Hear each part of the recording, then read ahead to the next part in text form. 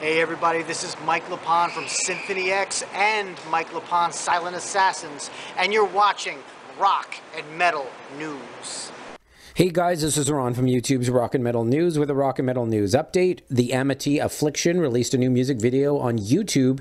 It's for the song Drag the Lake. It's off their new album Misery. You can check out the video in the link in the description. And the Warped Tour have released the dates and venues for their special 25th anniversary shows. Pre-sale tickets will be available on February the 25th. The lineup is going to be out on March the 1st. You can check out the venues in the description of this video. This is Ron from YouTube's Rock and Metal News. Thanks for tuning in.